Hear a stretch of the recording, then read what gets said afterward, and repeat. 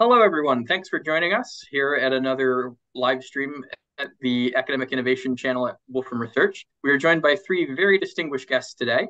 We have Victor Galitski, who is a professor uh, of quantum physics at the Joint Quantum Institute, University of Maryland, also editor for the Annals of Physics and CTO of ScienceCast, which builds AI tools to process research data for archives, publishers, and digital repositories.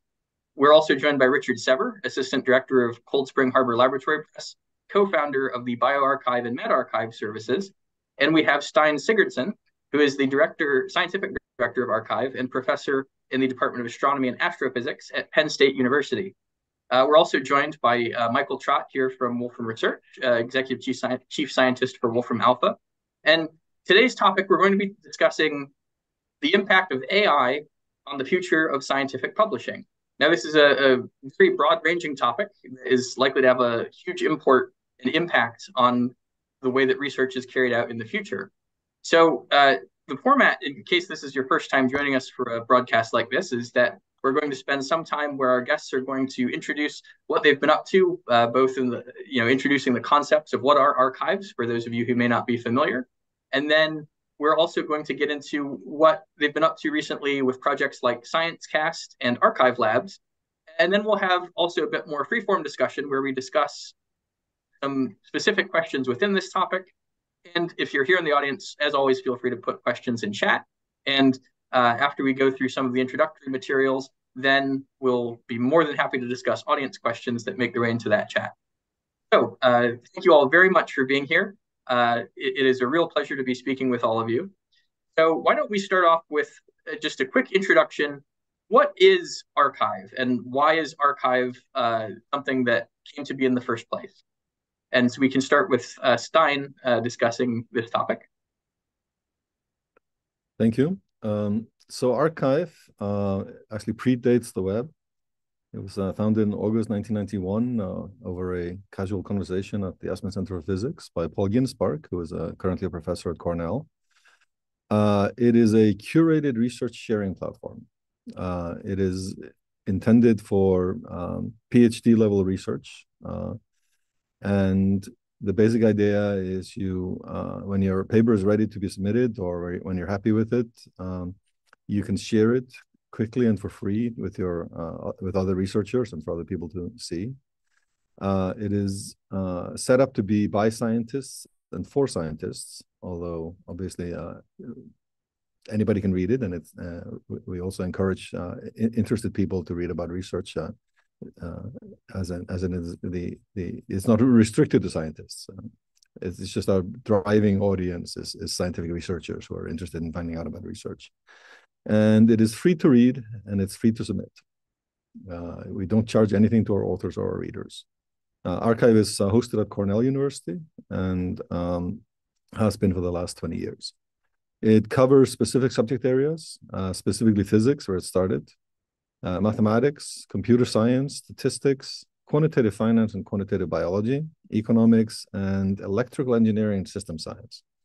And we are hoping to expand further uh, as and when we get capacity. Um, next slide, please. So uh, scope of arXiv, uh, it's worldwide. Uh, in fact, our biggest impact uh, is outside US and Europe now. Uh, we uh, have billions of downloads. Uh, our current hit rate is uh, a few hundred thousand uh, per hour. And uh, we have 5 million roughly monthly active users, distinct active users. we host 2.4 million research articles in the subject areas we cover. And our current growth rate is about 18,000 papers a month, roughly 1,000 papers per working day.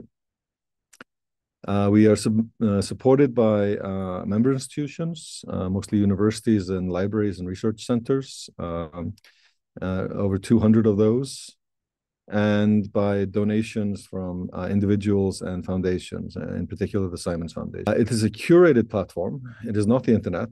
it is not just a website where you can upload anything.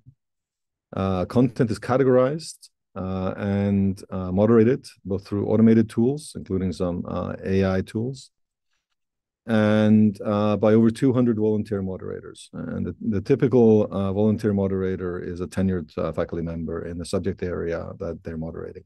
that works in the subject area they're moderating. Uh, we currently have 153 categories, uh, and we have a governing board, uh, actually three three governing boards co uh, covering different aspects of the arXiv, and uh, we have we have staff. We have 22 part-time and full-time paid staff. most of them are Cornell employees. next, please. Uh, a feature of arXiv that uh, we started uh, a little bit before COVID, fortunately before COVID, is arXiv Labs. Um, arXiv Labs is basically a space where we um, can experiment with stuff, uh, in particular with outside partners, uh, because we recognize that we don't have the capacity in house to try out a lot of stuff that is interesting and of potential use to arXiv users.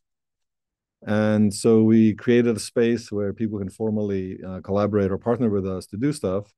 And we currently have 15 um, uh, partners uh, covering things like recommendation engines, uh, linking code to source, summaries of research content, and um, lots of fun tools. Uh, the arXiv Labs, by the way, I found at the bottom of the abstract page. Nobody knows they're there, but if you, if you, go to the bottom of the page and click around, you'll see stuff. And uh, the idea is to have a framework which allows collaborations and interactions and enriched content, uh, some of which may uh, be brought into be inlined with arXiv. Uh, particular examples ar5iv, which generated HTML papers, uh, versions of uh, arXiv content, and which we brought in-house and is now uh, part of arXiv uh, live service, where every paper we make an attempt to uh, convert um, the text source to HTML. next. Yep, and that hands over to Richard for his time. Uh, thanks. So, um, sorry, Richard, if, if you could, oh, excuse me, sorry. So yeah, Richard, if you could please now also uh, set up for audience. So our arXiv uh, was the first one on the block, but now bioRxiv and medRxiv are also very important within their respective fields. So uh, please, uh, if you could uh, motivate these for us. Yeah, well, thanks very much. Um, so um, bioRxiv and medRxiv very much inspired by arXiv. Um, and actually, Paul Ginsparg, who Steinn mentioned, was on the launch advisory board for bioRxiv. And really, what we wanted to do with um, bioRxiv and medRxiv was bring the culture of um, arXiv to biologists and clinicians, uh, res respectively. Um, you know, I often say, you know, the, the inspiration was that two million physicists can't be wrong. Um, uh, but there was a recognition that there was, you know, there are cultural differences and there are some concerns around medical information and biological information. So hence a separate server with slightly different procedures. Um, they're, they're both non-profit. Um, bioRxiv is based at Cold Spring Harbor Lab. So Cold Spring Harbor is analog- playing a, a role analogous to Cornell here. And medRxiv is a partnership with BMJ and Yale. Um, they're both non-profit just like arXiv, submission and access are entirely free. Anyone can submit. The, the content is not peer reviewed, um, but it is screened. So uh, much like uh, arXiv, there are um, essentially uh, uh, uh, senior investigators who who look at papers and and say they're they're okay. They're not reviewing them, but they're just they're, they're saying they're not nonsense. Um, we now have um, a quarter of a million papers across the two servers. We get something like uh, five five thousand papers a month you know, so a few hundred a day and uh, around 10 million people looking at um, these papers uh, every month. Um, uh, next slide, please. Um, and this was really our motivation for, for setting up bioRxiv and medRxiv, which was this recognition that in the traditional publishing process, uh, in which um, scientists will submit to a journal and then basically have to surmount the hurdles of the editor, the referees, multiple rounds of revision, and on average, this takes a year. Um, that this could significantly um, delay the progress of science. And actually, you know, academics are routinely seeing uh, uh, material at conferences and unpeer-reviewed material, so they're perfectly equipped to judge it themselves. So if it can be distributed in a matter of hours or days rather than months or years, that could have a significant uh, impact. So next slide, please and you can do sort of back of envelope calculations around this as to how much of the um, uh, uh, how much of a problem this delay is. And if you were to eliminate the delay by this rapid sharing of information like arXiv, bioRxiv, and medRxiv do, you could have a significant um, effect on the progress of science and really speed science up. Um, and Steve Quake at the BioHub in San Francisco did a few back of envelope calculations uh, in which he concluded that with, within 10 years, you really could speed up um, science fivefold. Um, next slide, please. Um, and so, you know, I mean, that's that's a kind of back of envelope calculation, sort of rather hypothetical. But of course, when the pandemic arrived, we, we began to see this in real time, see concrete examples of the benefits of speeding up science in this way. Um, across biomed bioRxiv and medRxiv, we had 29,000 papers on COVID um, in those four years. And these this started almost immediately. We got our first paper in January uh, 18th of 2020. And we started seeing waves of submissions from China about the um, epidemiology of the spread of COVID, the structure of the spike protein, etc., the fundamental biochemistry of how the virus was working, and then, you know, uh, amazingly, the clinical trial showing that dexamethasone, a steroid, was an effective treatment for COVID, and hydroxychloroquine wasn't. Then we saw details of the viral variants, the performance of the vaccines, to the extent that most biologists, and certainly not the chief medical advisor to the US president, hadn't thought of preprints before. But by the time COVID came, you had um, Anthony Fauci advocating for this. You had um, Soumya Swaminathan, the chief scientist at the WHO, um, uh, advocating for it. And, you know, and a medRxiv author told me recently that, you know, it's very clear there are people who are alive today because of this rapid sharing of information who wouldn't have been. And that is thanks to this preprints, to this early sharing of information. Uh, next slide, please.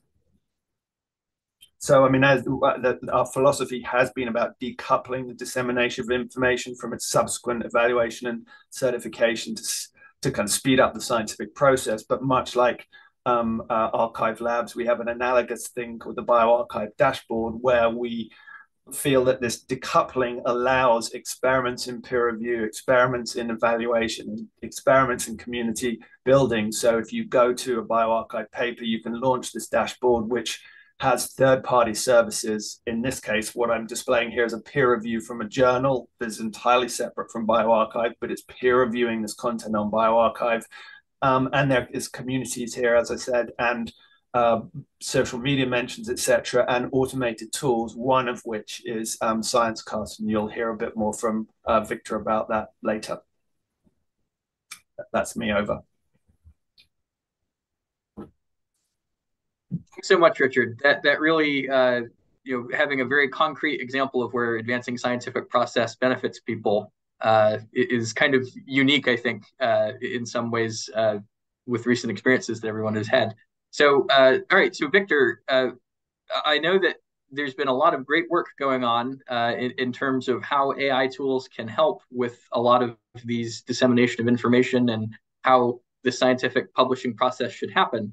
So if you could please give us a, a, quick, brief overview into the sorts of things that have been ongoing in that domain before we get into the more freeform discussion. Uh, of course. Uh, yes, thank you, uh, John, first of all, for um, organizing this event and for inviting us to uh, participate. So yeah, I'll, I'll, tell you a little bit about ScienceCast, which you can view as a sort of AI substrate for various archives and open science repositories in general. So um, we have Moshe Levy here on the call, who is doing most of our um, original AI work and a wonderful group of people working with us. Uh, you can see them here. So I will start kind of with a brief history. So we're discussing scientific publishing. So what is scientific publishing? So it's an ancient industry. So you can go way back to the 15th century when the printing press was invented uh, by Gutenberg. And um, the first journal uh, was founded back in the 17th century. And actually, this journal, Philosophical Transactions of Royal Society, still exists up to this day. So the first peer review appeared in 1731, and around the beginning of the 20th century, an external peer review system was introduced kind of en masse. Um, the publishing system as we use it today, uh, in particular the for-profit publishing industry, was invented, quote unquote, around 1948 by Robert Maxwell, who was rather rather controversial figure. And uh, I would argue that, well, one of the best things to scientific publishing that happened recently was what Steinn mentioned, uh, namely the invention of arXiv, which is open access repository in 91 by Paul Ginsparg, who launched it in Los Alamos. And arguably, uh, we are now going through another disruption, uh, which is driven by AI, and this is sort of the topic of today's discussion. So, but all in all, we're still using the kind of ancient publishing model.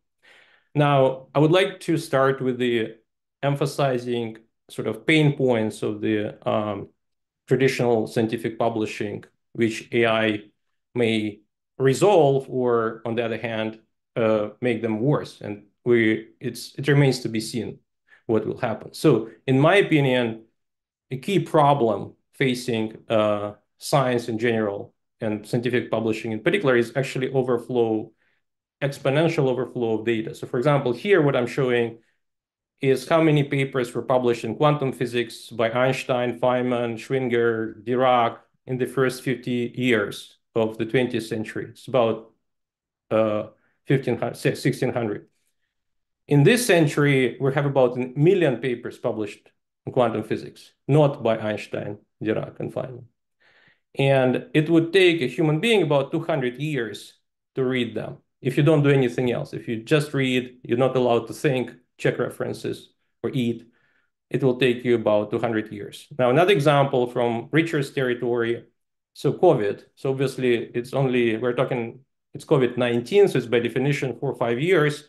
So already have four, about half million papers, almost exactly, I checked yesterday, which will take a human about 100 years to read. So here's a problem for you right there, so that we need some new uh, tools to process information.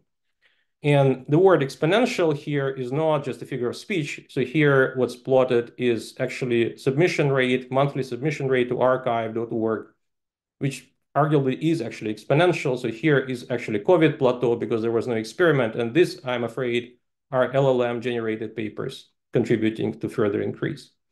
So, but all in all, we're kind of no longer capable of keeping up with the latest research, even in highly specialized fields. And the reason we started this project originally, even unrelated to AI, was try to resolve a little bit this issue. Now, kind of a big question you can ask So if, if Einstein were to write his miracle year papers now in 2024, would we even notice them in this fire hose of publications and data? So I think one of the key, key issues uh, facing science is how to extract gems from pile of uh, fire hose of data. Now, let me just say a few words about the current publishing system, and then I will actually move to AI. So, um, so the current publishing system is a big industry. It's an old industry, and the business model of this industry is the following. So we write papers for free. We refer papers for free. We oftentimes work as editors for free or small pay, and then we pay to read our own papers without, without noticing. So this is actually a budget of a typical university, a $33 million total budget. About 12 million goes to subscriptions. So it's about 10 million per university per year and $25 billion in revenues for science publishers. Actually, it's profit margin more than Google and Coca-Cola. So this is the type of um, industry we're dealing with, and it has its uh, you know positive and negative sides, and I'll talk about that. But sort of this is what we're dealing with. Now, why are we publishing in, in journals? Why do we actually do it? So there are a lot of pressures to publish, uh, well, um, related to funding, promotion, and tenure, etc. But also at some high level, so the value that journals actually provide, they're an attention-focusing, basically, vehicle. So if you get a paper published in a high-impact journal versus the same paper published elsewhere, so the former will have a much higher impact. And um, so journals obviously select papers based on peer review, but many people, myself included, believe that the traditional peer review system is broken, primarily because of the information overload, because people just don't have time to review, especially for free.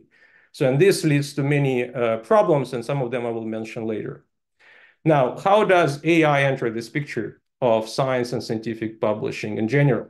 So, um, and so here uh, in this column, I will mention briefly and then elaborate on that some possibilities provided by artificial intelligence, in particular these things we actually um, have implemented with arXiv bioRxiv and within this ScienceCast project.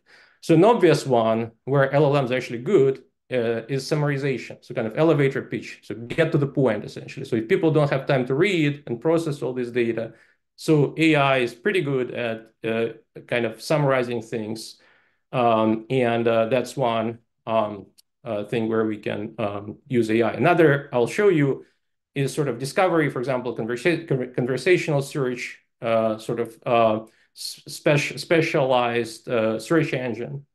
So another thing, which is actually a very big issue, in fact, I know arXiv has a special sort of task force to contribute to it. So it's accessibility.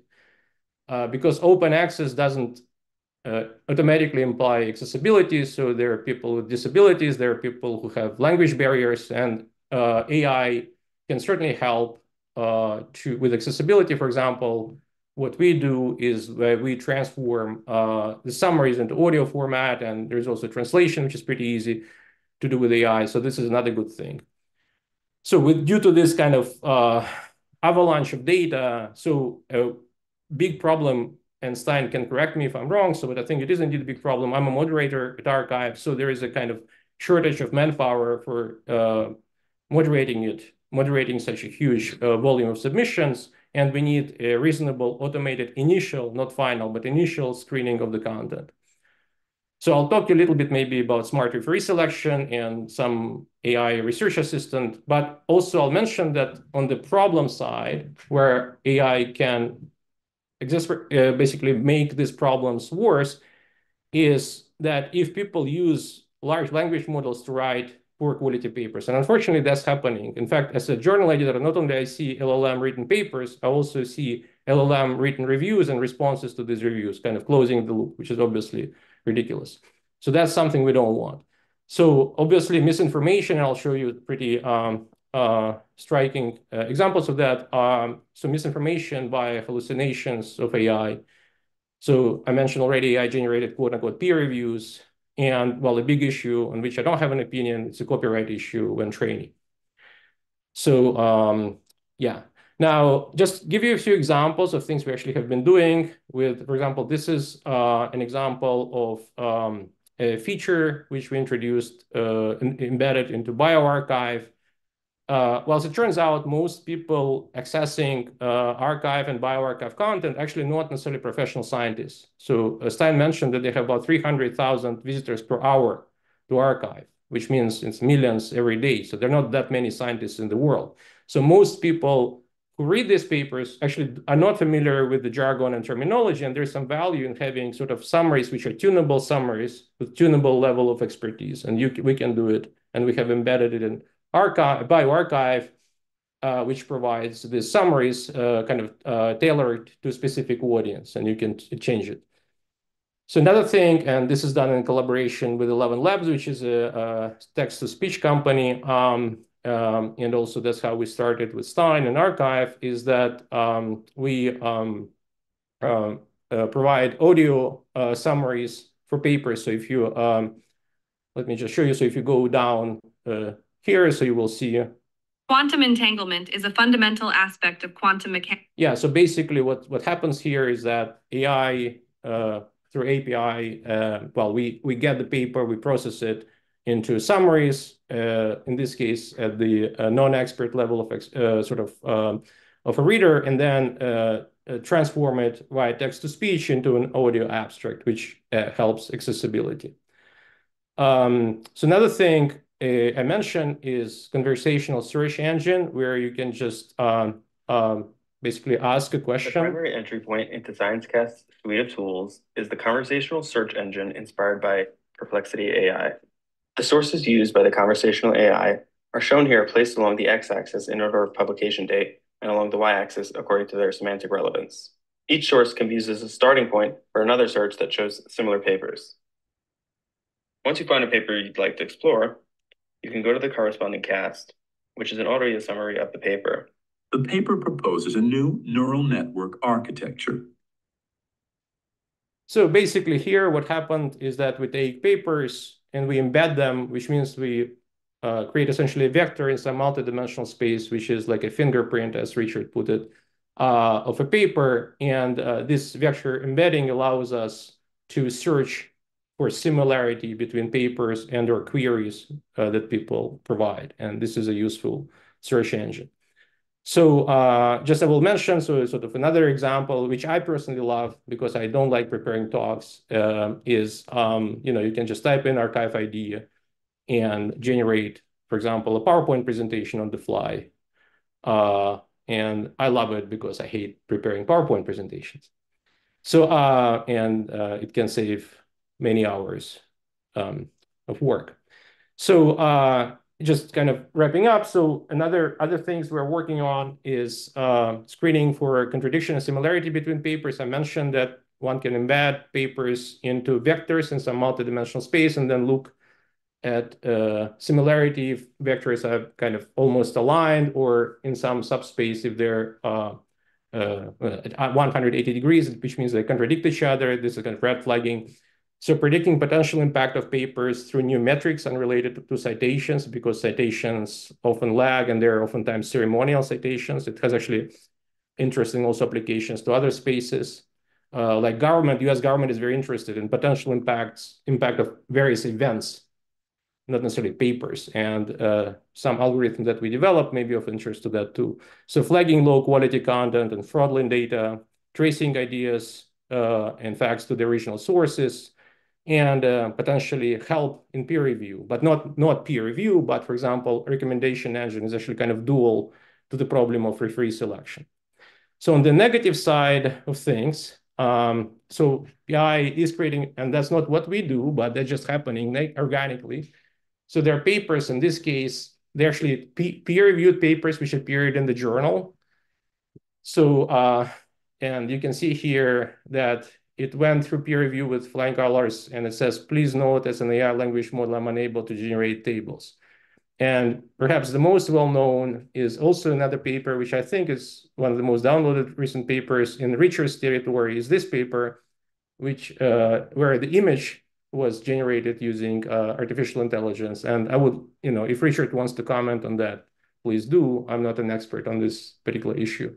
But uh, both these papers were retracted, but this is just the beginning of this negative, I guess, um, trend where there are papers being generated by LLMs with very low quality. I think I'm out of time, and so I'll just kill my screen share, and uh, I'm done. So thank you. Thanks all so much for that that sort of introduction to some of the uh, both motivations and some of the recent work that's been going on. So there's a lot to unpack here. Uh, we also uh, have a couple of audience questions already. So uh, building off of one of the audience questions that we have, uh, let's back up a little bit from the topic of AI and just talk about uh, how one thinks about preprints in the context of disseminating scientific knowledge. So the, the audience question is that, you know, the the term academic paper and, and, therefore the form in which we disseminate knowledge carries a lot of baggage from when the printing press was the best that we could do, right? And so the the question is, uh, how does one think about the fact that now we have the internet and electronic means of disseminating this, and how does that bear on the relationship between the value of preprints and the value of you know peer-reviewed published publications? I, I wonder if we could uh, briefly just touch on that topic. So let, us maybe uh, go in sort of the same order that we uh, had had gone in before. So we'll start with Steinn. Um, so how, how does one think about the relationship between preprints to peer-reviewed things, uh, given that you know in the past all one could do is have a printing press, but now we have these these new means of disseminating information. So obviously, this is something we've considered quite heavily. Um, my my my take on this is that um, when you're when you're ready to share your research, uh, you, you, need to accept the fact that you may have made errors. Uh, there's no, it's no, not a sin to be wrong. And the whole point is get feedback on your research and, and get correction and uh, uh in, input for improvement. Um, in practice, the majority of uh, preprints uh, have relatively small changes between uh, coming out on arXiv in particular and being published. Uh, we, that's actually been studied several times and you get consistent results. Although, as I noticed, the, the introduction of the word not is a very small change to a paper, but but makes a very big difference to the conclusion of the paper in, in principle. So so so the size of the changes is not necessarily indicative of the uh, impact of the changes. Uh, this depends a little bit on what research area you're in. Uh, there are different norms in in, in different uh, fields about what is important. Uh, mathematicians, for example, are, are very concerned about proofs and formal uh, formally show that things are correct in some strict sense. Uh, others are more you want to get the data out there in astronomy, for example. There's high value in unique one-time data being shared because it can be used uh, over time and in conjunction with other data. Um, the the other way I think about it is um, it's not just a matter of correctness; it's also a matter of whether things are interesting. And that's really where you want to get the speed of things going, where you want to get the conversation going quickly and shake out what's interesting and what isn't. Um, there's stuff that's incorrect but interesting in the sense that it highlights issues that should enter the scientific conversation. And and there's stuff that's absolutely correct and of very little interest. Uh, and and sadly, that is that is a fair fair amount of research because you don't know often what's going to be interesting until you try it and and famously there's a need to to pr produce neg uh, negative results. I tried this it didn't work. Everybody don't bother trying this. Yes that those are all excellent points. Yep. uh, so one of the things that you brought up is this this difference in norms between various fields. So uh, perhaps uh, richard you'd be in a great position to comment on uh, so in, in, the context you already alluded to in medical research uh, you know, perhaps there are some different processes that are necessary for thinking about the relationship between preprint and publication in in those fields. So could you elaborate on that a little bit for us, please? Sure. I mean, I would I would certainly echo what what Steinn said, and and and sort of before I say anything, underscore the importance of the ability to revise in response to feedback, and the importance of kind of peer criticism and that whole kind of like sort of dialogue that goes on. But I think one thing that's really important in the context of that original question to understand is the history of scientific communication in papers um, a lot of the time there's this sort of somewhat false narrative that you know 300 years ago journals were created much as they are today and that everybody's been doing this for 300 years and it, it's never changed the, the reality is that is actually that um, peer review as we currently perform it is only about 40 years old so, you know, the Lancet, the Premier Medical Journal, and um, Nature, Science, all those um, journals only started doing what we now call peer review after World War II. Actually, what happened prior to that was that papers were refereed when they came to journals, and what they that was mainly by societies wanting to make sure they weren't putting stuff out that was really crazy and an embarrassment to the society. So, uh, funnily enough, that actually looks like the kind of screening that bioRxiv and, and medRxiv perform. Um, but then what happened was, you know, because of the explosion of research after World War II, there was a real drive for, you know, papers needed filtering. There was concern about the um, this concept of peer review because, you know, the, the politicians might co-opt messages, so peers had to evaluate them, and you've got the conflation of a whole bunch of different things.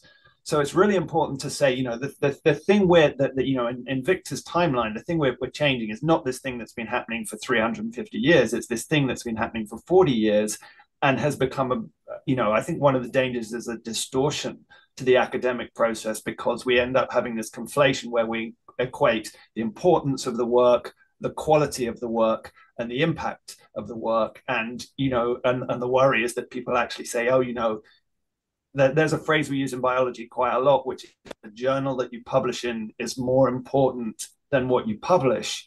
And it sounds facetious, but actually for people's careers, that's probably true. Mm-hmm. So I think that you have to set against that background. And then there, then there's the the other issue, which is when you get kind of clinically actionable information and you have worries about misinformation. So one of the things we're very keen on um, at, at medRxiv is we have a we have a kind of category of paper which we say is better after peer review. There's some things that, that could immediately change public behavior that you really want to be a bit more sure of. And so, you know, there's something. So I'm I'm all for rapid dissemination, but there's a class of paper that shouldn't be rapidly disseminated but I always point out that's probably like 0.01% of work. And we need to have a conversation about educating the public about the nature of scientific evidence, at what point something becomes actionable. You know, the FDA don't approve a drug just because it's appeared in a in the New England Journal of Medicine. So that's a more complicated process. So that was a bit of a long-winded answer to your question. No, thank you. Uh, so, Victor, I saw that, that you wanted to interject about one of these points, and then also as a follow-up, um, you, you also brought up this this uh, couple of different things that get conflated in the way that things are done currently in scientific publication, where there's this question of first, is it nonsense, and then is it interesting? So, uh, what what did you want to add to to uh, Richard's comments, and then also if we could comment on on how how do you think about deconflating these these various things? Yeah. So um, I do want to comment a little bit on the current state of peer review, but more as an author and referee and also an editor uh, who deals with this. So um, I recently asked my colleagues, and my expertise is quantum physics. Have you ever received a useful review? Ever? So I've I've never received actually useful peer review. So and most people said not really. So it's more like an at least in our field, it's more like um, exercise to get things published than to seek the truth. And I think, I don't know why it's the case, but I think the reason for this, I mean, I think it may be different in biology. It certainly is different in mathematics. It is very much field specific. But I think the real reason for that is because, uh, well, let's say we spent a year writing a paper. We submitted it to a journal. Um, and then uh, editor sends it to referees. Referees don't have time. They don't have a year to check our results. So they have five minutes. They look at it superficially. They they may have their own biases, and I'm I am also in these shoes. So people don't have time to do work for free, which is actually difficult work, which is due diligence basically on very complicated research. So I think one big question to answer in general is whether the current peer review system is working at all. So, and it I think is very much field specific. And mathematics which is a smaller community where there are well-defined problems that mathematicians consider important. Uh, I think they actually do a pretty good job in mm-hmm. verifying their proofs. So I have a question to mathematicians, though, how do they select which problems are important?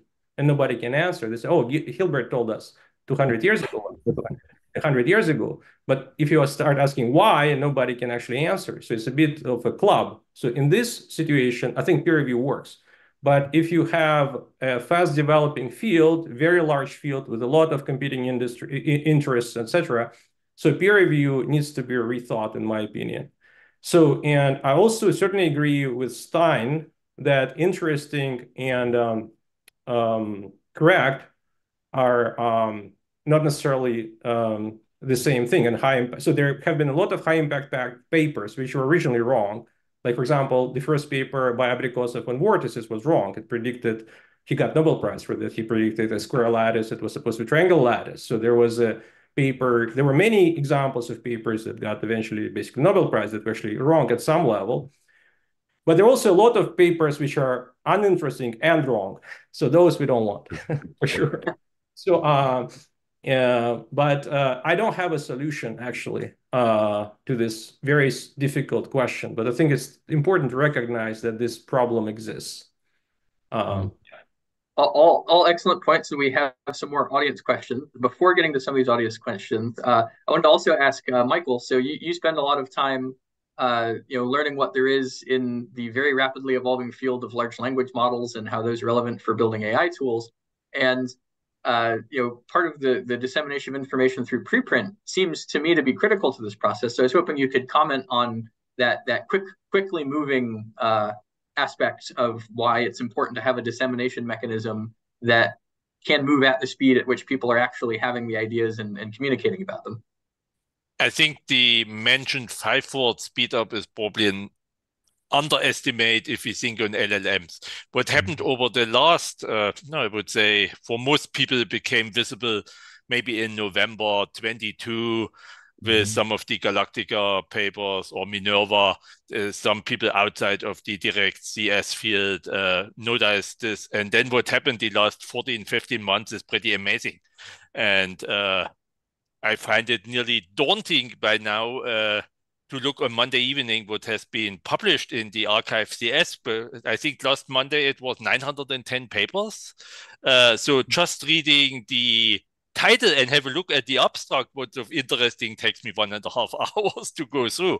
Uh, on the other side, uh, it really is the only way I can see that one uh, disseminates the knowledge quick enough and uh, sees what people do. And the breadth of what uh, what is done in the especially LLM world, on the one side, on the actual implementation of LLMs and techniques, but also on the application side and the uh, the whole prompting technique, something that uh, I think kind of more most people would have never thought would become important that you spend a fair amount of your time thinking how do I ask a machine something? Like uh, an old science fiction book would have probably always thought kind of you just ask the machine and the machine will answer it?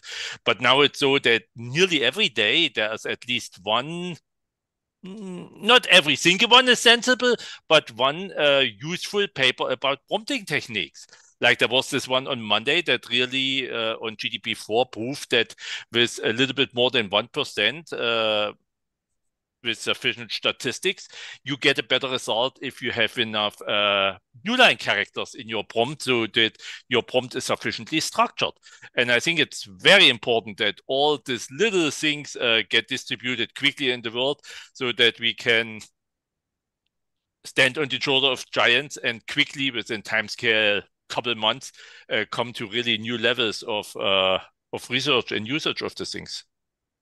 Richard, it looks like you want to make a comment on this topic as well.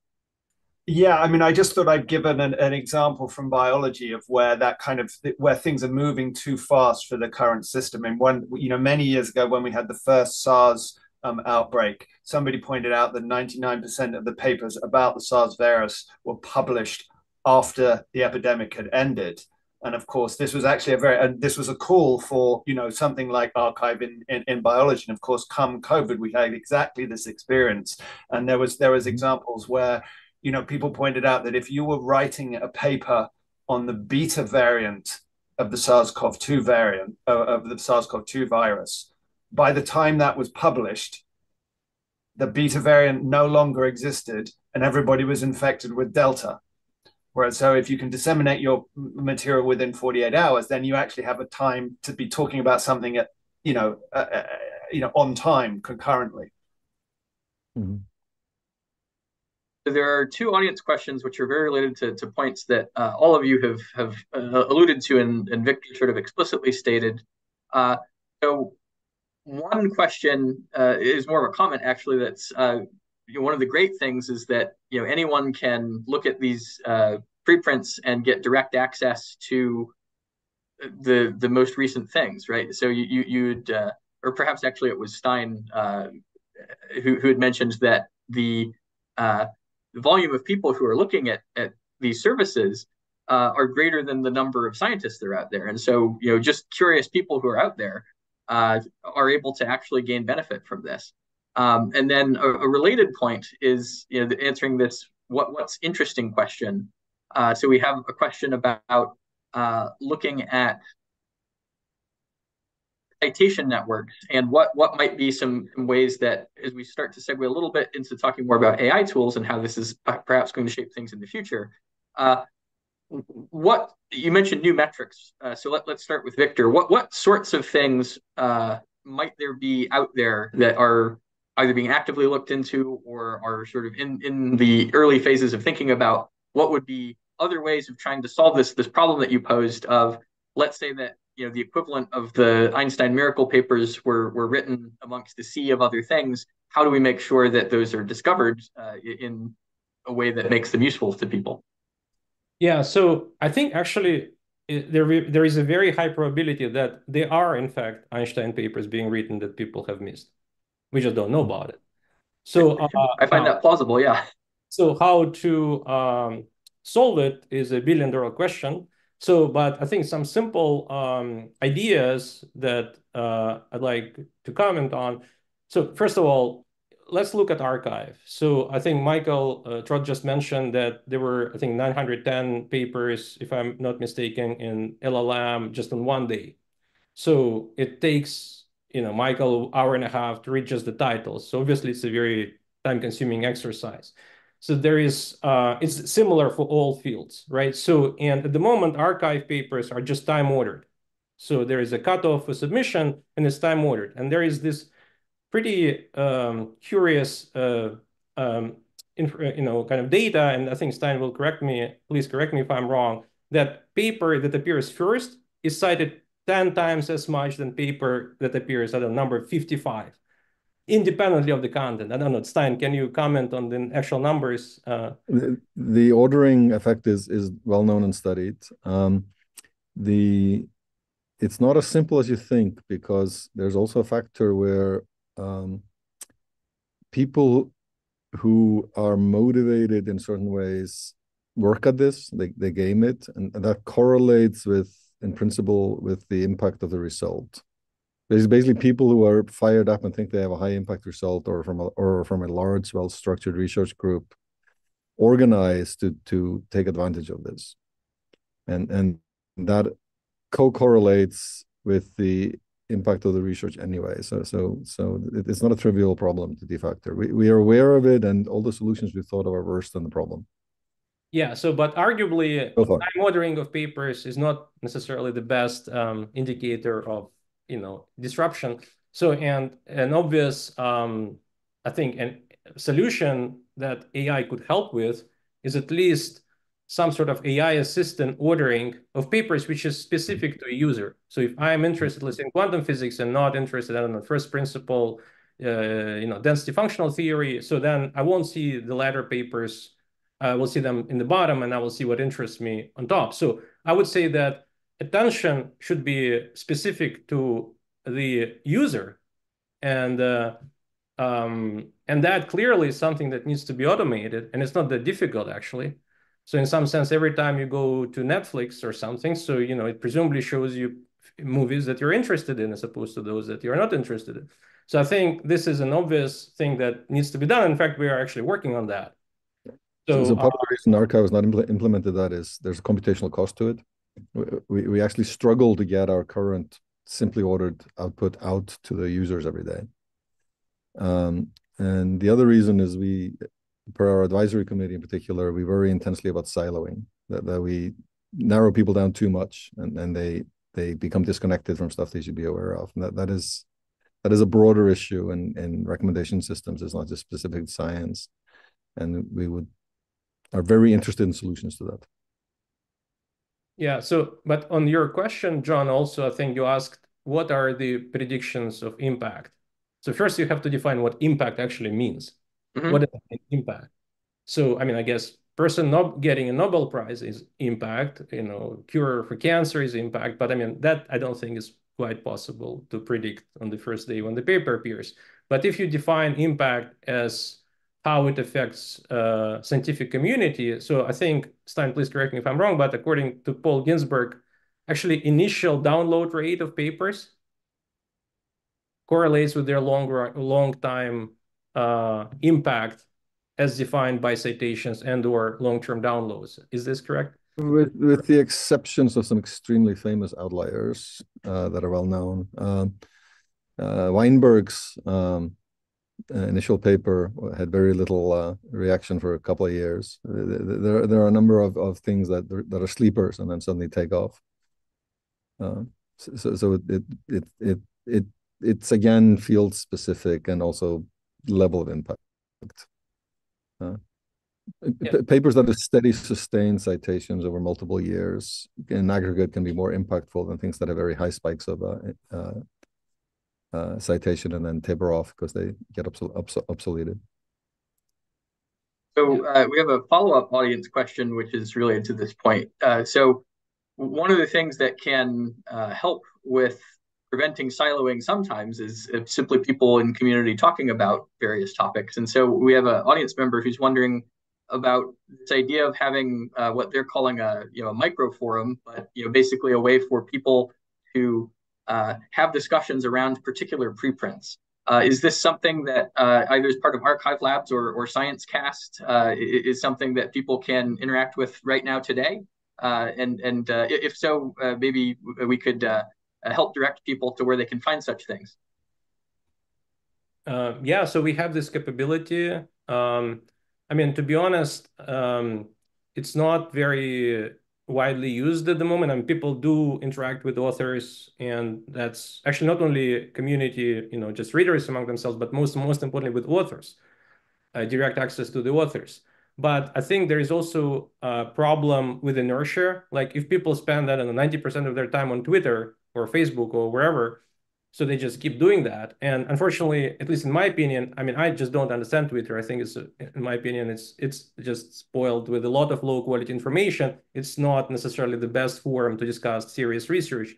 So we, I think, badly need, I agree with whoever asked this question, that we absolutely need a forum which is free of white noise, uh, where we can uh, discuss um, uh, research. Actually, mathematicians do have such a forum. It's called Math Overflow, which I've used, and I think it's excellent.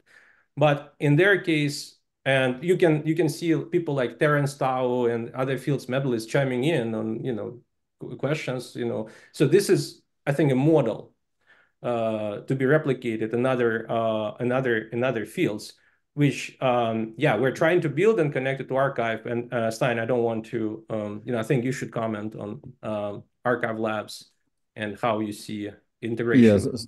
So so part of part of arXiv's motive for setting up the labs framework was to have spaces where you could be tied into arXiv and provide services that either we uh, can't provide with an archive because of lack of resources uh, we, we have a small number of people and a small amount of money, so we, we focus on our core competence and, and keeping everything alive. um, but also, um, there are some things that are better done outside the core. Uh, in particular, discussion forums are notoriously difficult to manage. Uh, first, you have to get them to critical mass, which is an interesting problem, and, and anyone who solves that will become very rich.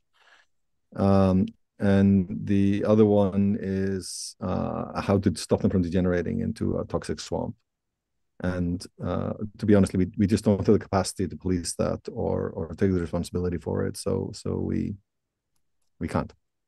Yeah. I mean we've had a, we, we've had some similar experience. I mean, I think my my feeling is that you know, I mean, as as as as, as was said before, it's a kind of like billion dollar question about how to how to make this happen in one place. Our feeling is that we couldn't do this, so we have a like a combination of you know recognizing that the discussions will happen in different places, but being able to point readers to where those discussions are. I mean, I think, you know, I mean, uh, what Victor says about math is is definitely the case. Twitter has been a strange place for genomics, and actually, very early on in genomics, there was a lot of people on Twitter. So you actually did. I mean, things have degenerated in the past few years, but early on, there was a lot of conversations in genomics where you people saw that you know very well respected people in the field were on Twitter and having serious discussions. But that has not been replicated in immunology and you know and you know the minute you you know the minute you start discussing vaccines then that that kind of deterioration happens almost immediately for example. So we one of the things we do in our dashboard is we we have we do have a comment section on on bioRxiv and on site when it's there are some discussions there it's not heavily used maybe about 5% of papers but you can go to conversations on twitter. We want to be able to go and link out to the conversations on blue sky on mastodon and we have some of these. There are a small number of self-organizing communities.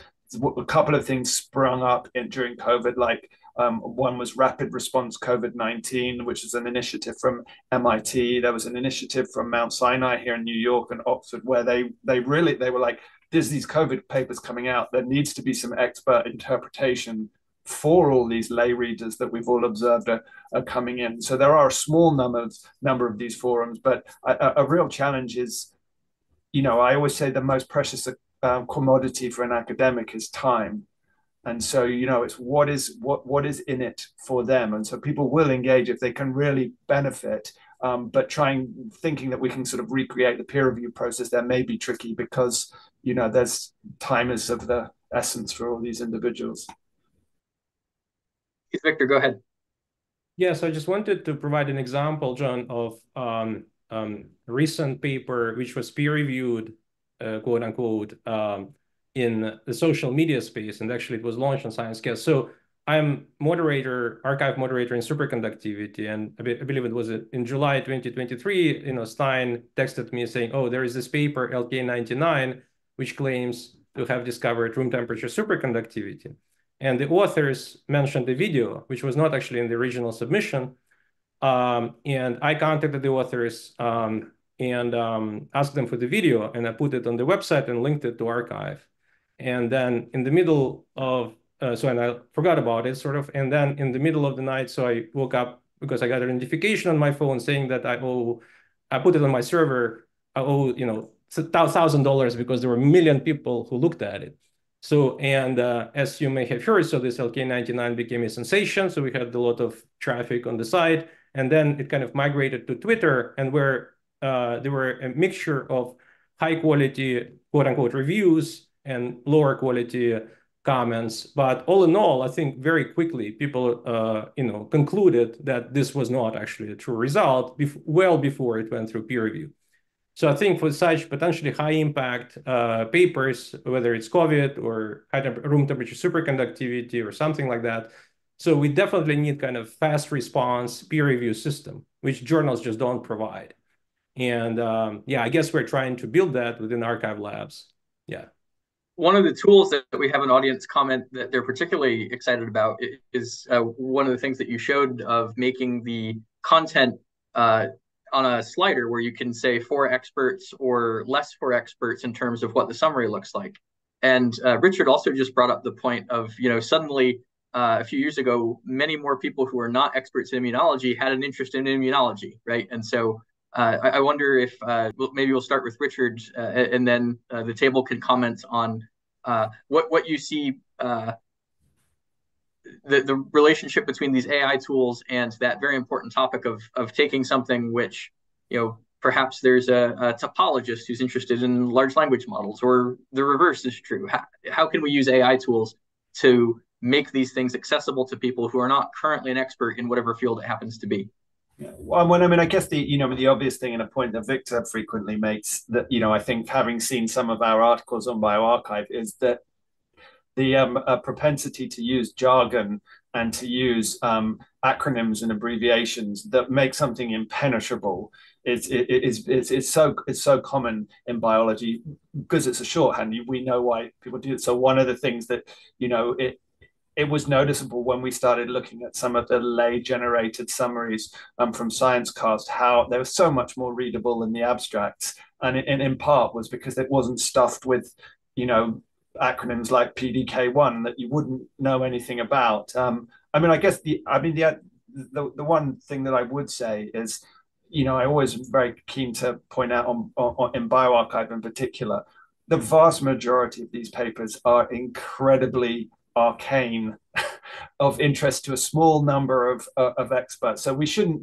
be under the illusion that we can somehow give somebody a kind of like a, a you know a rapid um, BSc and four-year PhD to allow them just to understand a paper. But I think on on the, on the medRxiv front that will that will be interesting. But I, I think that goes to this broader question of providing context and and and how we do it. And I think there's a lot that that, that AI contribute potentially there beyond just summarization.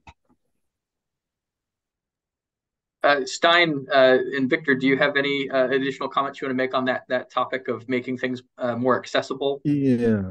So, so in in addition to kind of um, providing information about things to the general public, uh, one of the things that arXiv are acutely aware of and are hoping that uh, these tools will expedite is, for example, th there are known unknowns for people. And, and my canonical example is um, statistics does a lot of research on obscure statistical techniques, and then they write a R code, dump it into the R library, it's validated, and and it floats there. I, I know, and, and I can't think of a specific example, but I, I know of examples where somebody has a data set that is really you, you it, they need to know the statistical technique. We can help you find it. it, it it'll it'll enable you to get a actual robust uh, result or or solve a problem that is intractable for you. And, and I'm actually acutely, acutely aware of it because when I was a young postdoc, I really needed to do a statistical test on some multidimensional data.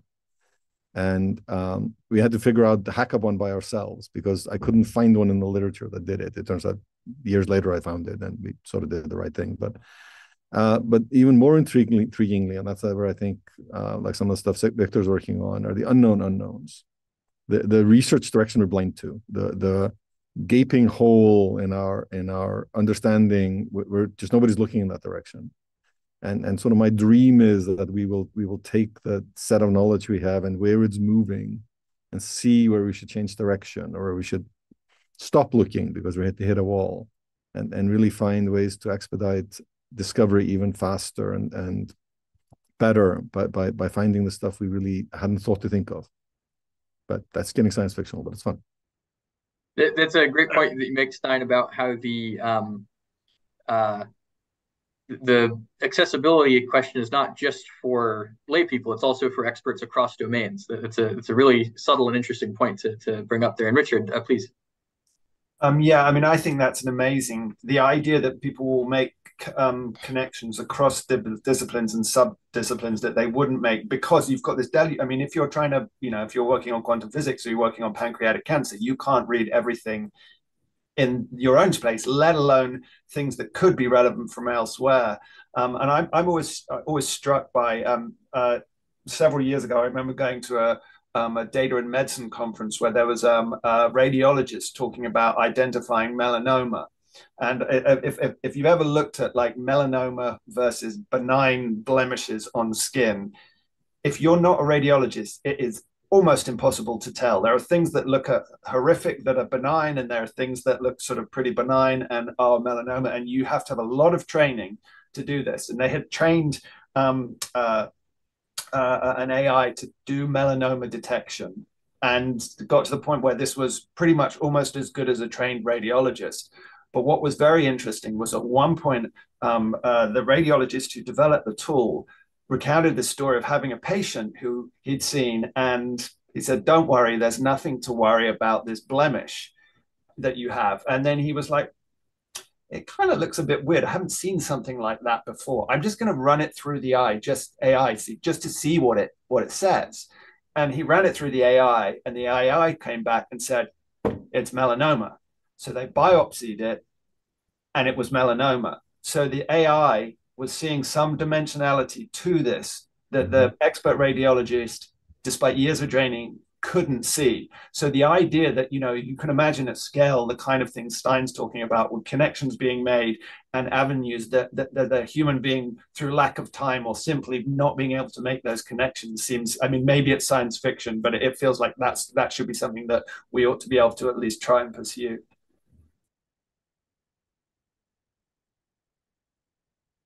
I think there's also another dimension that I have some hope over the next years that I, I will hope a lot. So there are a lot of things that uh, interest people, but they just don't have time to follow up on it, yeah, because they have a daytime job in a in a totally different area. Like myself, uh, interest say in quantum friction, quantum embezzlement, or some other a little bit exotic things. And uh, if I have time, I read one or another preprint from this. But wouldn't it not be great, Kenda, if really uh, I could say take the last two years of arXiv papers on this subject, put them all coherently together, and make me, in the spirit of what Victor showed in the beginning, some kind of PowerPoint slide what has been found out over the last two years. I think that would really speed up uh, potential cross connection to other sciences and uh, spur some ideas of what you can do in your own field. Yes. And uh, Victor, it looks like you wanted to make a, a, point about this topic as well. Yeah, so I just wanted maybe if you let me share a screen for a second. I wanted sure. to show how it Please. actually works um, in practice. So um, this is, um, for example, a paper by uh, um, uh, Dennis Wirtz, who is uh, vice provost for research at Johns Hopkins. So here is the paper, and so he, well, he obviously knows what he's talking about.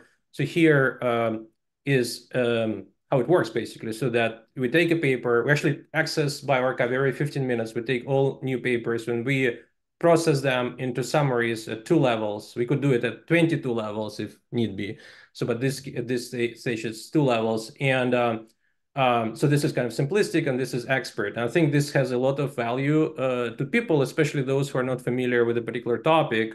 And we would like actually to expand it to other um, other um, um archives and repositories. But also, uh, I'd like to mention, so on your question, John, about making connections between different um, fields. So I'm I don't know how to do it, but I'm thinking that potentially these embeddings uh, that we work with could uh, look for hidden uh, links between seemingly unrelated topics. Maybe so obviously embeddings, uh, you know, they project semantic um, data into just numerical uh, vectors, basically. But presumably there are some subspaces there where they can intersect, and one can look for uh, maybe something that is invisible to humans, but something that can potentially be of relevance uh, to people from different fields and say, hey, look at this paper. Even though it seems sounds irrelevant, may, there is maybe a connection.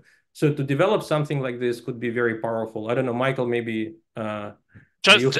I had a discussion with somebody from the U of I about this topic uh, just last week. just some random idea that we discussed was maybe the information isn't in a single embedding vector, but maybe the information is in uh, in the sense of topological data analysis between a bunch of preprints about one field and a bunch of preprints from the other side, and then look how they topologically kind of form some simplex in some Hauer space that has some topological similarities. Yes, and find the holes. Yeah, exactly. Higher dimensional ones. yep. Richard, please.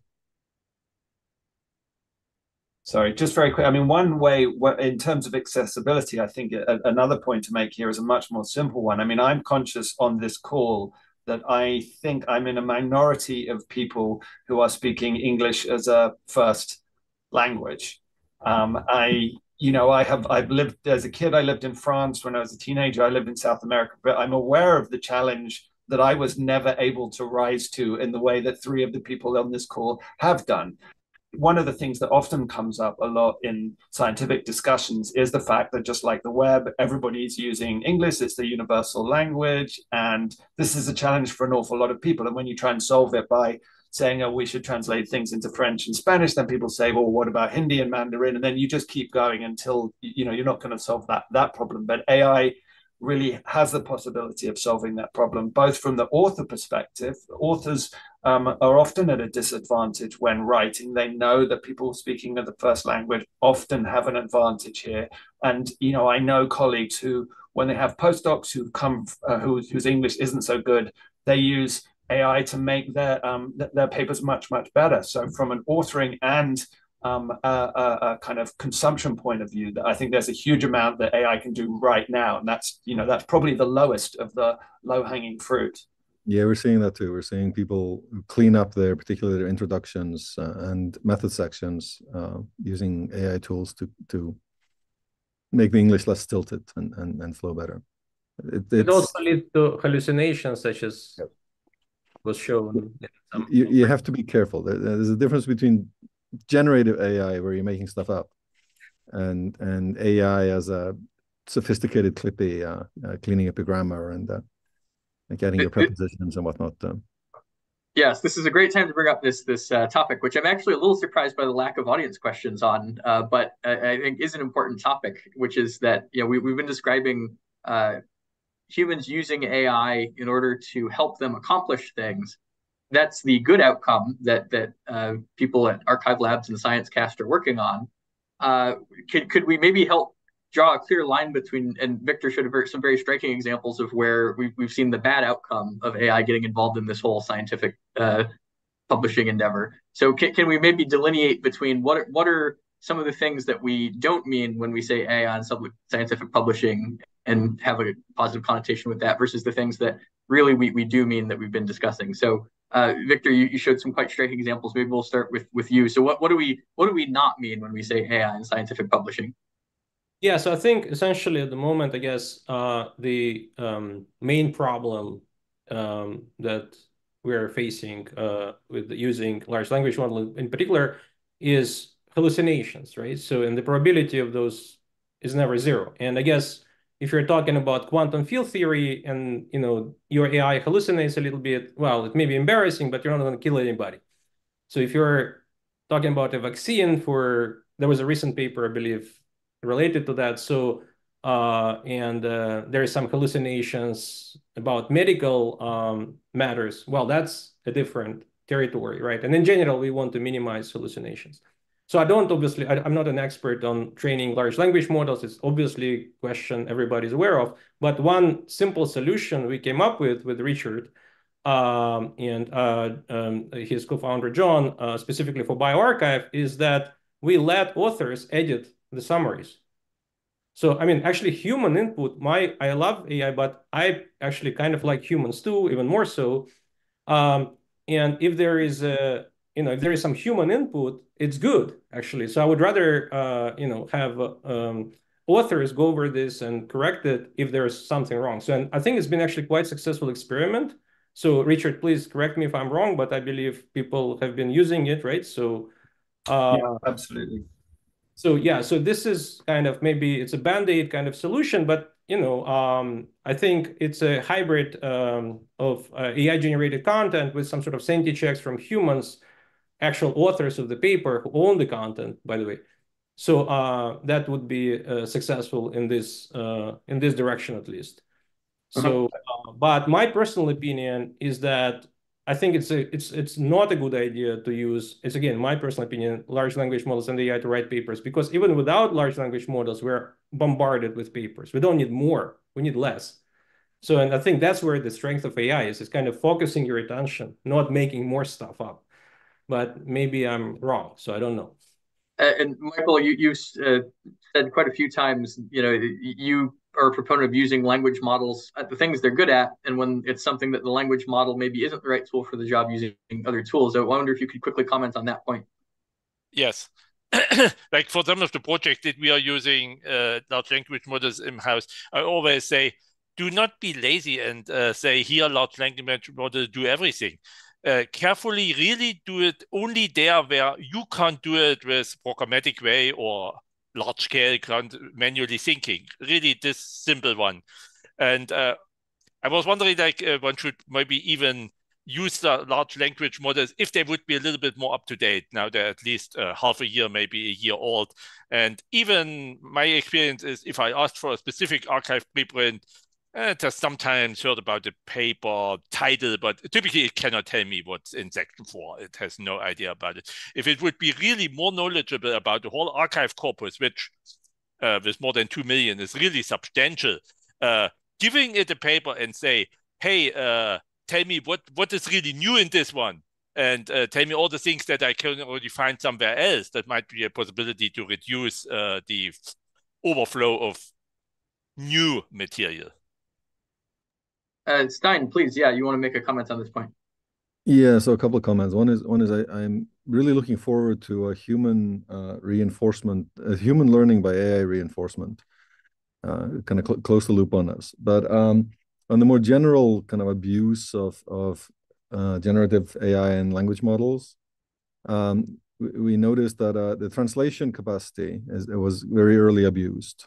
People would translate a paper into another language and then back translate it, and then resubmit it as a new new paper because uh, the transliteration tended to avoid plagiarism detect detectors. But it but it triggered I can't remember the technical phrases, but but basically synonyms for technical phrases became a, a anomaly signature tortured phrases is that tortured phrases thank you yes like like artificial intelligence became fake brains or something like that. Um, but then um, we there was actually it was a prominent social media there was a paper on arXiv which um, was a copy of another paper where every word essentially had been transliterated. And uh, the author of the paper spotted it because they are in fact the world expert on such techniques in ai and um, this uh, unveiled a uh, not just a minor industry doing this, which we are uh, fighting, but uh, it also fed into citation circle fraud. Um, so, and in fact, fake science identities being set up on and science communities to generate plausible backgrounds and and stuff. And this is a systemic problem for us, not not just arXiv, but for everyone in science publishing. And it is it is driven uh, not just by the technology being available, but by uh, the fact that then the whole system provides perverse incentives that rewards this. And and that is one of the near term, possibly catastrophic impacts of AI is is basically human abuse of of pretty basic AI technologies to um, invoke Goodhart's law uh, in in with vengeance. I think it's certainly highlighting a few things that um, you know people have kind of known for a while but been unwilling to deal with. You know, we're seeing mm. this this paper mill problem that I referred to, where people are generating entirely fake papers because they need them as career currency to get promotion. Um, similarly, citations. There's now this phenomenon, cita- citation mills, they're called, where fake papers are created purely for the purpose of boosting other citations. And of course, what this is telling us is that you know we have our kind of incentive structured wrong, and people should not be acting as bean counters in academia when they're deciding who to promote and who to hire.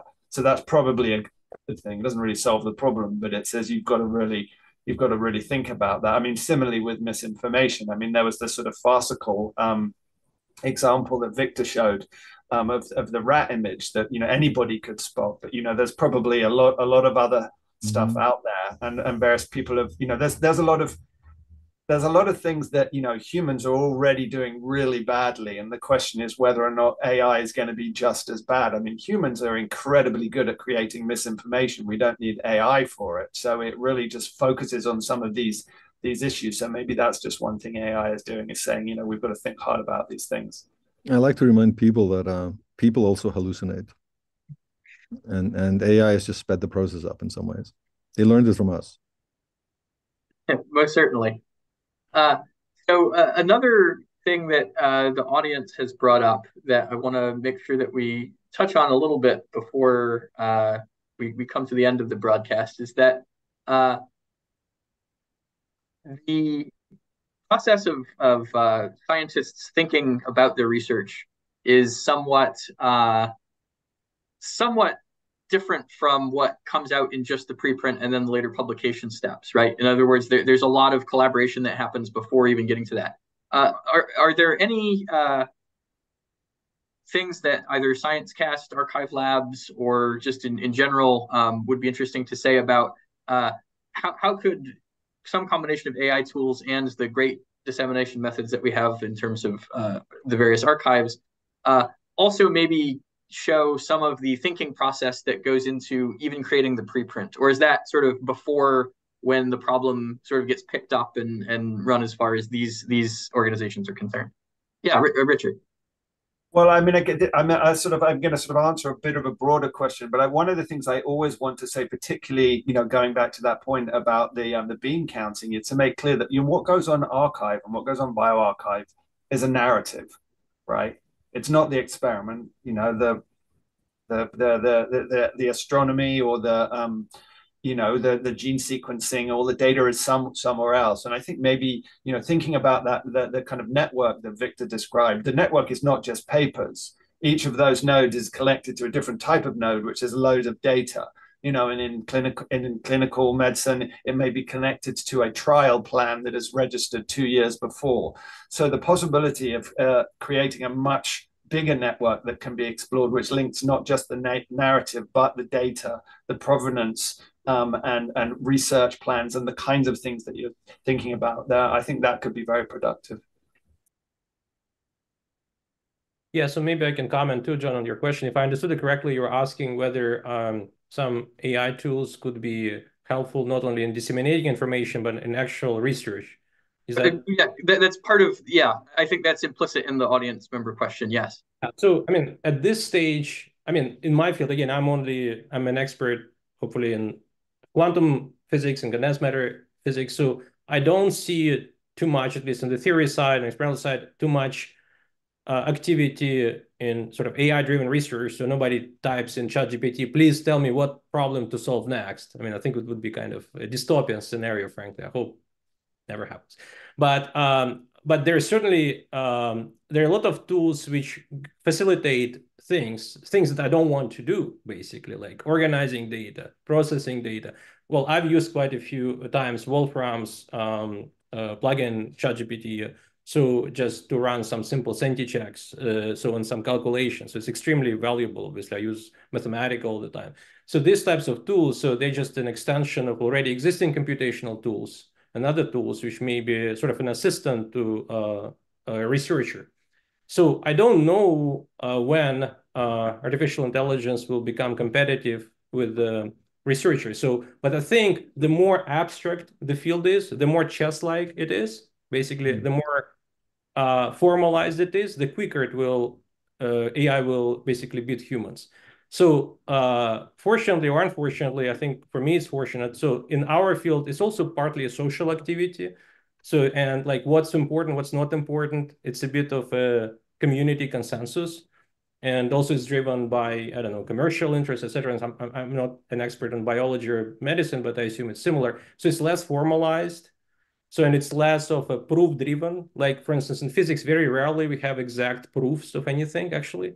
Like even Feynman path integral, which is a you know key uh, ingredient of quantum mechanics, mathematicians say, well, it's just wrong. It makes no sense. And I use it all the time and I'm just fine.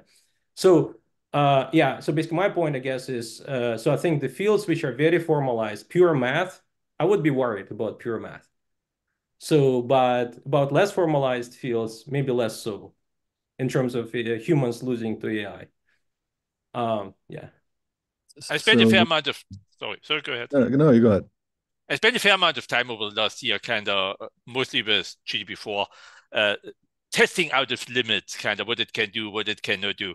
And uh, I agree with Victor for the next year, probably we don't have to be worried it will take over and uh, beat us in some ideas what we should do in quantum mechanics. I think it's far, far, far away from this. But one thing that I noticed, and in general, if you ask it, give me something interesting about this, it it just does the opposite. It falls back to the most simple thing it has somewhere heard. Uh, uh, really boring, uh, and probably because it has read it 120,000 times on the internet. But what I found already right now interesting is if you give it a couple of disconnected things, or for something that still I'll say always in science, quantum physics plus minus, and say I have heard about this, this, this, and this. There must be some relation about them say weak measurements uh, and relation to quantum energy teleportation.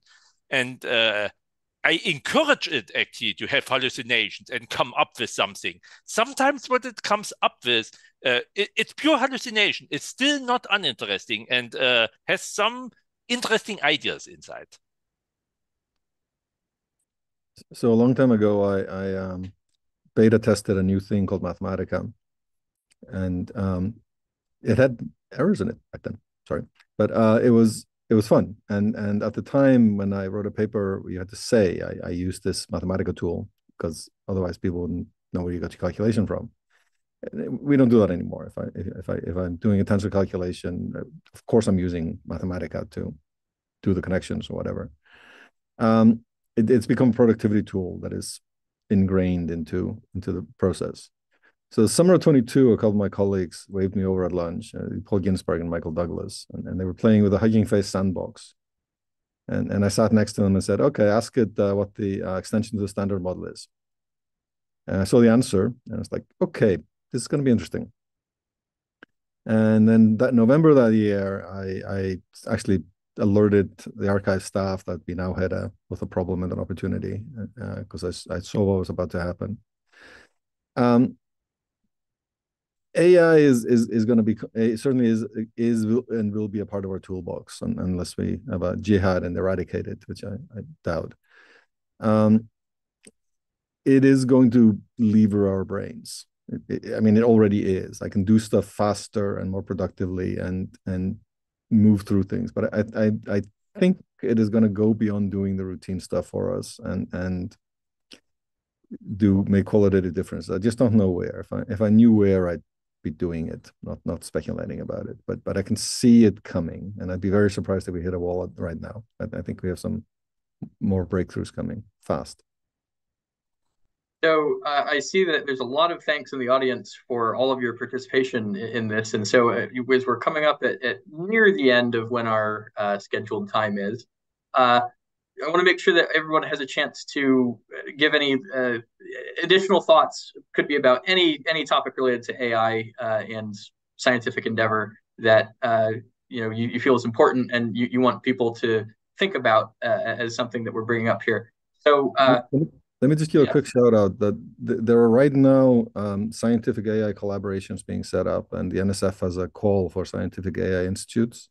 Mm -hmm. And so, for example, Polymathic at uh, the Simons Foundation, uh, these are formal collaborations uh, to work on this, and and they're open open source codes mostly. Actually, any of the government funded ones are open source, and they are actually there's an index of them somewhere on the web, which I don't have the link to at hand. So so things are happening. I'll, I'll step back. Mm -hmm. So uh, we don't have a, a hard stop coming up here, uh, but I just want to make sure that since we're nearing the end of when people's schedules might be pulling them to, to other things, that we, we get a chance to sort of go around the table again and, and uh, mention any such important thing. So uh, let's maybe start with, with Michael. Are there any uh, thoughts that you want to leave the audience with as we're getting ready to wind things down here? I think there are exciting times ahead, and uh, many things will change over the next two years that we five years ago thought would never change in our lifetimes. And uh, some of the things will be amazing, but some of them will probably also a little bit scary and frustrating. And uh, so, uh, Steinn, you mentioned that there are uh, already scientific collab excuse me, scientific collaborations and calls for uh, proposals out there in, in this space. So, uh, aside from this, what other sorts of things do you want to leave the the audience thinking about? Um, just to remind people that there's also a um, well-funded organized initiatives who are uh, setting up AIs and posing the question, uh, how do I best kill my enemies? It's a two-edged sword. But it's a sobering, sobering point to make for sure. Uh, so, Richard, there's I'm sure a lot to be said here in terms of application to medical sciences and to, biology. So, what are some, some parting thoughts that you'd like to leave the audience with as we get ready to wrap things up here? I mean, I think I would just underscore again this this combination of the human and the AI. I think that that that, that that's critical. That you know this this you know the, the, the caution every step of the way, not to just because of the hallucinations, because it may be something you don't know about. You can't trust it. You know, you need you need some human verification. I'm what you know going back to that talk by the radiologist I mentioned. He he said, uh, you know, AI will not replace radiologists but radiologists who use AI will replace radiologists who don't. So I think every every scientist should be thinking like that. Collaboration between uh, human and tool, as we've we've done for a very long time. It's just a different set of tools we're getting used to now. Uh, and Victor, what what uh, thoughts would you like to leave the audience with as we get ready to wrap things up? Yeah, so first of all, thank you so much for organizing it, John. Yeah, thanks the audience for uh, their time. And I'll just say that uh, uh, Steinn, Richard, uh, and ScienceCast were working on developing uh, these tools. But uh, if um, people have ideas about what they want to see, they should feel free to reach out. And we'll be happy to discuss and perhaps implement these tools with arXiv and bioRxiv and other repositories. So, and just thank you very much for this event it's a very very positive note of, of uh, asking people to to contribute to you know building the future in this area because it really is fast moving and, and exciting. And uh, both from from the bottom of my heart thank you all for the work that you do in keeping these uh, archives up and running uh, because uh, I know personally I've gotten a lot of uh, good use out of them. And and Michael can can add his own but I know he agrees with me completely on this point. I think both of our favorite websites. So uh, I expect that many people in the audience are in, in similar boats. So uh, thank you all so much for for really deeply thinking about uh, how an already good thing can be made both better and what we want to avoid in terms of making it worse uh, in the future as our, our tools evolve. So thank you all so much for joining us. And if you're in the audience, feel free to leave more comments as we see the video after the fact. And also reach out to ScienceCast and uh, collaborate with arXiv Labs. So thanks all very much.